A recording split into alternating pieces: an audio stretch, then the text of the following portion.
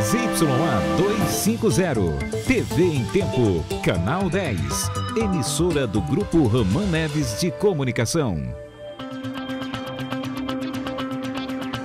Dez anos depois, quatro acusados de tentar matar o atual ministro do STJ, Mauro Campbell, são condenados. Troca de comando. Coronel Augusto Sérgio Farias Pereira é o novo comandante-geral da PM. Ele assume a vaga do Coronel James Prota.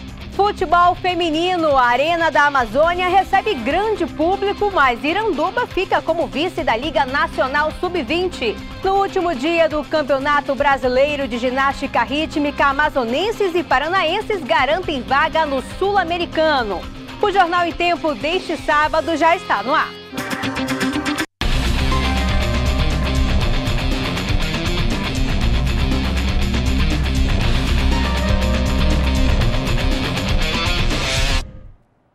Boa noite. Depois de 10 anos, quatro acusados de tentar matar em 2006 o agora ministro do Superior Tribunal de Justiça, Mauro Campbell, foram condenados.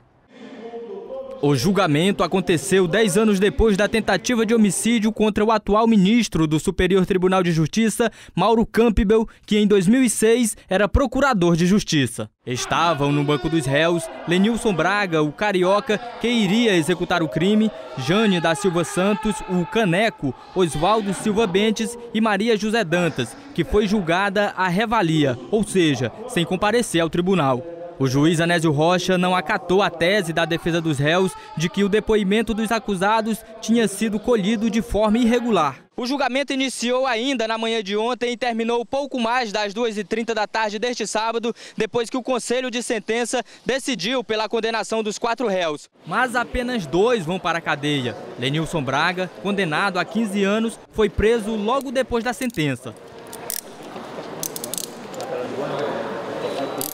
Não existe nenhum réu preso por esse processo, todos estão em liberdade. É, essa prisão que ocorreu agora foi em razão de outro processo que corre em outra vara, que havia um mandado de prisão em aberto. E foi verificado e constatou que deveria ser cumprido, em razão do, do Lenilson. O outro é Jane Santos, que foi condenado a 15 anos e 6 meses. Ele já estava preso no Compage por outro crime. Já Oswaldo Bentes, que pegou 12 anos de prisão, e Maria José, condenada a 14 anos, vão responder em liberdade. O ministro Mauro Campbell foi vítima de um plano arquitetado pelo então procurador da Justiça Vicente Cruz em 2006, que ainda aguarda julgamento. A primeira parcela do 13º deve ser paga em julho, e isso deixou os comerciantes otimistas que esperam aumento de 20% nas vendas já tem servidor público contando as horas para receber a primeira parcela. Com o 13 terceiro dá para a gente se programar melhor, fazer boas compras, né? E é isso, né? Faltando o governo liberar essa parte para a gente aí. E toda esta ansiedade para receber o 13º tem um motivo. É que o governo do estado prometeu pagá-lo em três vezes. Os primeiros 30% já devem sair em julho, os 20% em setembro e outros 50% no mês de dezembro. Para o presidente da Associação Comercial do Amazonas, o adiantamento vai ser uma injeção de ânimo no comércio. De grande importância para o comércio, principalmente nesse período de crise esse, esse, esses valores, esses aportes que vão ser é, pagos aos servidores públicos, eles vão ajudar significativamente o varejo, o nosso próprio varejo, em datas alusivas, como é o caso do Dia dos Pais, Dia das Crianças. Enquanto isso não acontece, as lojas se preparam para o aumento nas vendas. A expectativa é de que o acréscimo seja de 20%. Hoje mesmo está chegando bastante mercadorias para mim. Eu até aumentei meus funcionários que eu tinha dado um tempo, né? Já chamei, eu estou aguardando eles retornarem e meu estoque está bem mesmo aquecido. Eu estou esperando uma melhora muito grande, se Deus permitir. E até os vendedores do comércio informal estão na expectativa. Se espera por esse resultado aí, né? Porque conforme a crise, saindo esse dinheiro aí, né? Vai nos ajudar aqui fora. Pois é, e com o dinheiro no bolso, dá até para pechinchar mais antes de comprar. Um dinheiro no bolso ele tem condições de, é, de barganhar né, o preço, né? Não tem mais condições. Ainda compra coisa mais barata. É, mais barata, com certeza. Na manhã de hoje, uma organização que protege os animais fez uma manifestação contra a exposição de animais silvestres em eventos públicos aqui na capital. O ato foi no São Jorge, Zona Oeste. Cinco dias depois de ter sido abatida com um tiro de pistola, a morte de Juma, a mascote do 1 Batalhão de Infantaria de Selva, ainda comove. Nosso primeiro ato é a manifestação. Atrelado à manifestação, nós fizemos um requerimento administrativo na quinta-feira, exigindo esclarecimentos e, nos, e, e posicionamento contra essa, com, com, com relação a essa questão da exploração e nós vamos fazer uma ação pública. Juma foi atração durante a passagem da tocha olímpica pelo Centro de Instrução de Guerra na Selva na última segunda-feira. Logo depois, ela foi morta depois de fugir da jaula e tentar avançar em um militar.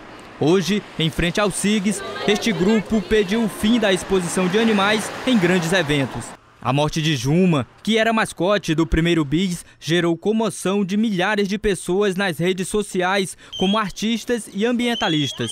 Até o Comitê da Rio 2016 reconheceu que errou ao usar animais selvagens durante a exposição da tocha. O Ministério Público Federal investiga a utilização de animais silvestres em eventos públicos. E hoje foi o último dia de disputa do Campeonato Brasileiro de Ginástica Rítmica. Meninas de várias partes do país estiveram aqui, mas foram as paranaenses e amazonenses que se destacaram. Além de terem chegado às finais da competição, elas também vão representar o Brasil no próximo Sul-Americano da modalidade. Desde a última terça-feira, Manaus se transformou na capital da ginástica rítmica.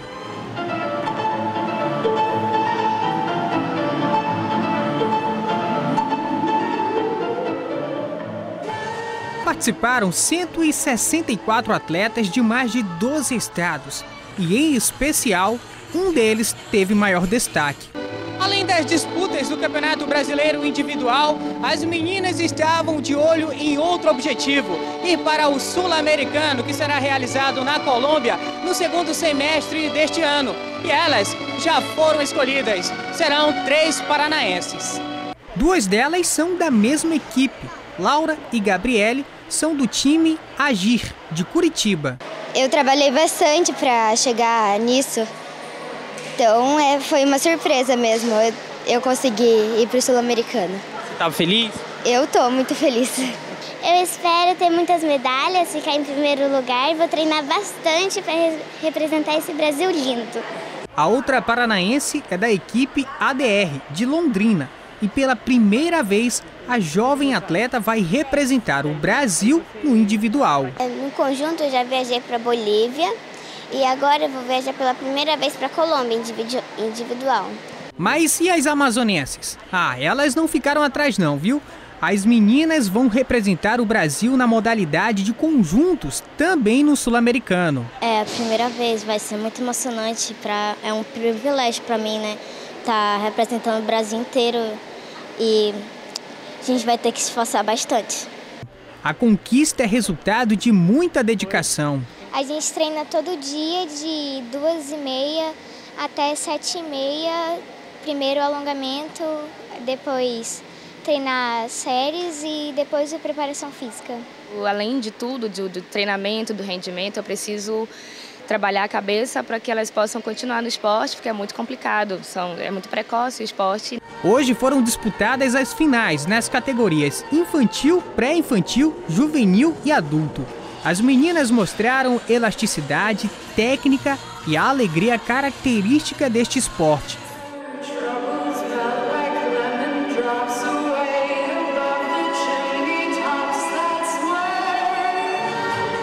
A competição foi realizada neste ginásio, inaugurado ontem. Ele ganhou o nome da maior estrela da ginástica rítmica do estado, Bianca Maia Mendonça, campeã de conjunto com a seleção brasileira no Pan-Americano de Guadalajara em 2011 no México. Eu acredito que a partir de hoje o Amazonas está escrevendo uma nova história dentro da ginástica, da ginástica rítmica e da artística também. E eu espero que daqui é, saiam muitas meninas a semana de competições aqui em Manaus deixou uma certeza: a de que a ginástica rítmica aqui do estado ganhou mais força. Né, nós temos aqui a Associação do Alberto Vale competindo, representando o Amazonas, e as meninas estão nas finais. Só isso já nos fortalece. Não somente a equipe do Alberto Vale, mas, sobretudo, a ginástica amazonense bem representada.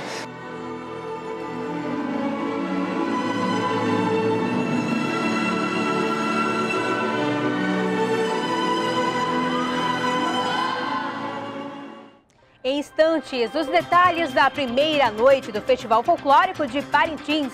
E ainda, apesar de grande público na Arena da Amazônia, Quiranduba fica com o vice-campeonato da Liga Nacional Sub-20 de Futebol Feminino. Nós voltamos já já.